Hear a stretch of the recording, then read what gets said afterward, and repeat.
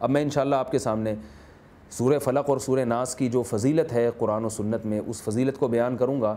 اور یہ صورت چونکہ نازل ہوئی ہے بطور رقیہ کے یعنی دم کرنے کے لیے۔ تو یہ جو ہم عاملوں کے پاس جاتے ہیں، روحانی علاج والوں کے پاس جاتے ہیں، یہ صورت اللہ نے اس لیے نازل کی ہے کہ ہم عاملوں سے اور روحانی علاج والوں سے اپنے آپ کو دور رکھیں۔ اور اللہ نے جو علاج آسمان سے ہمارے لیے اتارا ہے، جادو کا اور آسیب کا اور یہ نظر کا، یہ جو اللہ نے آسمان سے ہمارے لیے علاج اتارا ہے، ہم اس کو فالو کریں۔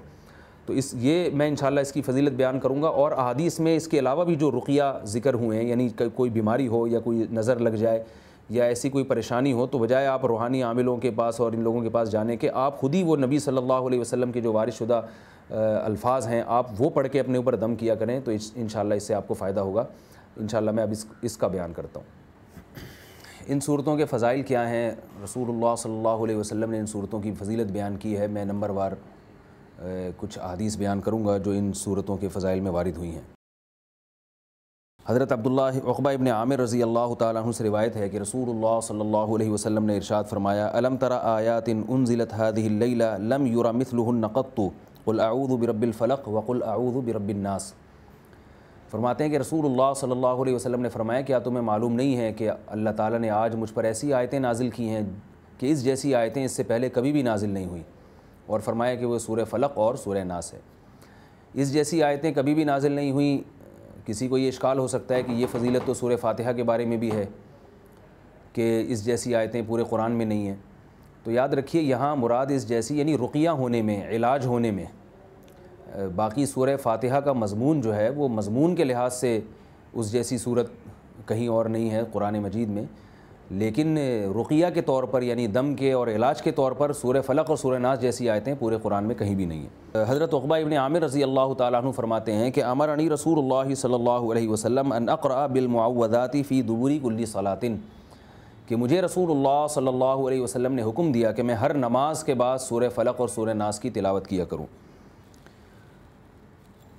حضرت ابو عبداللہ ابن عابس الجہنی رضی اللہ تعالیٰ عنہ فرماتے ہیں کہ رسول اللہ صلی اللہ علیہ وسلم نے ارشاد فرمایا، یا عابس علا عدالو کا بافضل ما يتعوذ به المتعوذون قال، بلا یا رسول اللہ قال، قل اعوذ برب الفلق وقل اعوذ برب الناس ہاتانی السورتان عبداللہ ابن عابس الجہنی فرماتے ہیں کہ مجھے رسول اللہ صلی اللہ علیہ وسلم نے فرمایا کہ کیا میں تمہیں ایسے کلمات کی خبر نہ دوں کہ اس سے بہتر کلمات اللہ کی پناہ میں آنے کے لیے ہیں ہی نہیں۔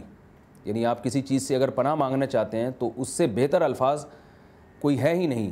پھر آپ صلی اللہ علیہ وسلم نے مجھے حکم دیا کہ میں قلاؤد رب الفلق اور قلاؤد رب الناس کی تلاوت کیا کروں۔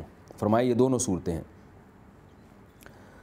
حضرت عائشہ رضی اللہ تعالیٰ عنہ سے روایت ہے، فرماتی ہیں کہ ان نبی صلی اللہ علیہ وسلم کان اذا اوا الى فراشہ کل لیلت جمع کفیہ ثم نفث فیہما وقرأ فیہما قل هو اللہ احد وقل اعوذ برب الفلق۔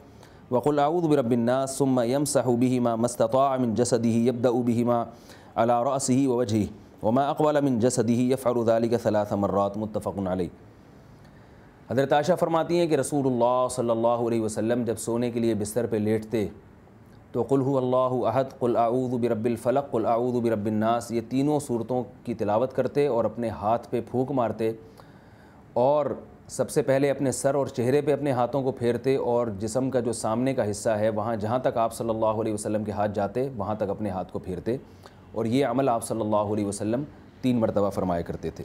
حدیث میں ہے کہ رسول اللہ صلی اللہ علیہ وسلم جب بیماری میں مبتلا ہوتے تو آپ صلی اللہ علیہ وسلم پر حضرت جبریل علیہ السلاۃ والسلام یہ دعا پڑھ کے دم کیا کرتے تھے۔ بسم اللہ عرقیق من کل شعی یؤذیک واللہ یشفیق یہ مسند احمد کی روایت ہے۔ اس سے پتہ چلا کہ آپ جب بیمار ہوں تو اپنے گھر کے کسی فرد کے ذمے آپ یہ لگا سکتے ہیں کہ وہ آپ پر یہ دعا پڑھے، بسم اللہ رقیق۔ اس کا مطلب ہے کہ میں اللہ کے نام سے آپ پہ دم کرتا ہوں۔ عرقیق کا معنی دم کرتا ہوں۔ من کل شعی یؤذیک۔ ہر اس چیز کے شر سے بچنے کے لیے جو آپ کو تکلیف میں مبتلا کر رہی ہے۔ واللہ یشفیق اور اللہ سے دعا کرتا ہوں کہ اللہ آپ کو شفا دے۔ حضرت عثمان ابن ابی عاص رضی اللہ تعالیٰ عنہ فرماتے ہیں کہ میں کسی تکلیف میں مبتلا تھا اور درد اتنا شدید تھا کہ مجھے ایسا لگ رہا تھا کہ میں ہلاک ہو جاؤں گا اس درد کی تکلیف سے۔ آپ صلی اللہ علیہ وسلم میرے پاس آئے اور آپ صلی اللہ علیہ وسلم نے درد کی جگہ پہ اپنا ہاتھ مبارک رکھا، دایاں ہاتھ، اور سات مرتبہ یہ کلمات پڑھے، اعوذ بعزت اللہ و قدرتی ہی من شر ما اجد کہ میں اللہ تعالیٰ کی عزت کے ذریعے اور اللہ کی قدرت کے ذریعے پناہ مانگتا ہوں، ہر اس چیز کے شر سے جس کو میں محسوس کر رہا ہوں۔ یہ سنن نسائی کی حدیث ہے۔ حضرت عبداللہ ابن عباس رضی اللہ عنہ سے روایت ہے کہ رسول اللہ صلی اللہ علیہ وسلم نے ارشاد فرمایا کہ جس شخص نے کسی ایسے مریض کے پاس آ کر یہ کلمات پڑھے، جس مریض کی موت کا وقت نہ آ چکا ہو، کیونکہ موت تو جب اللہ نے لکھ دی مقدر میں وہ تو کوئی نہیں ٹال سکتا۔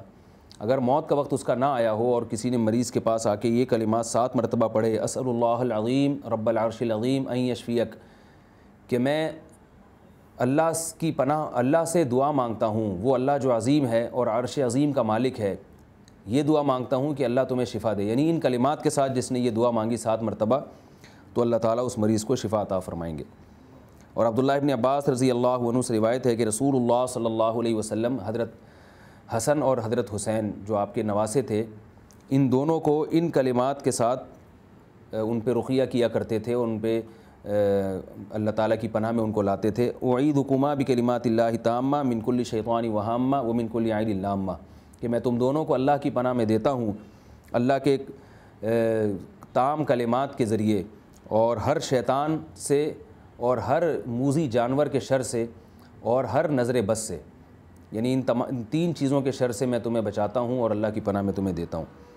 یہ چونکہ دو نواسے تھے، اس لیے آپ صلی اللہ علیہ وسلم اعید حکومہ کہتے تھے۔ آپ جب اپنے بچوں پہ اگر یہ الفاظ دم کریں گے، تو اگر وہ بچے زیادہ ہیں تو اعید حکم کے الفاظ کہیں گے۔ اعید حکم یعنی کما کے بجائے کم کر دیں۔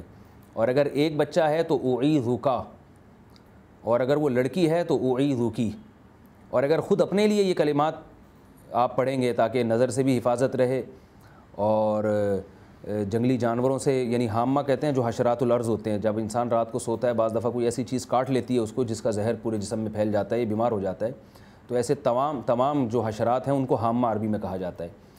اور تو اس کے شر سے بھی، اور شیطان کے شر سے بھی یعنی جنات کے شر سے، اس سے بچنے کے لیے بھی نبی صلی اللہ علیہ وسلم نے یہ جامع دعا سکھائی ہے۔ تو بچوں پہ دم کریں گے تو اعیدوکا یا اعیدوکی یا اعید یا اعید یہ الفاظ کہیں گے۔ اور جب اپنے لیے کریں گے تو اعوذ یعنی اعوذ بکلمات اللہ تامہ من کل شیطان وہامہ و من کل عید اللامہ یہ الفاظ پڑھنے چاہیے۔ اور ایک اور روایت ہے کہ حضرت عائشہ رضی اللہ تعالی عنہ فرماتی ہیں کہ رسول اللہ صلی اللہ علیہ وسلم جب کسی جسمانی تکلیف میں مبتلا ہوتے تو آپ صلی اللہ علیہ وسلم اپنا دائیں دائیں ہاتھ کی ہتیلی پر قل هو اللہ احد اور قل اعوذ برب الفلق اور قل اعوذ برب الناس پڑھتے۔ اور پھر اس جگہ پر اپنے ہاتھ مبارک کو پھیرتے جہاں تکلیف ہو رہی ہے۔ تو چند یہ وہ رقیہ اور وہ دم ہیں جو نبی صلی اللہ علیہ وسلم سے صحیح حدیث کی روشنی میں ثابت ہیں۔ تو انہی پر اکتفا کیا کریں جنات کے شر سے بچنے کے لیے، نظر سے بچنے کے لیے، عاملوں کے پاس، یہ روحانی علاج والوں کے پاس نہ جایا کریں، اس سے نقصان ہوتا ہے۔ رہا یہ کہ کس کو کتنا فائدہ ہو نبی نے تو فرمایا کہ یہ اس میں اللہ نے شفا رکھی ہے۔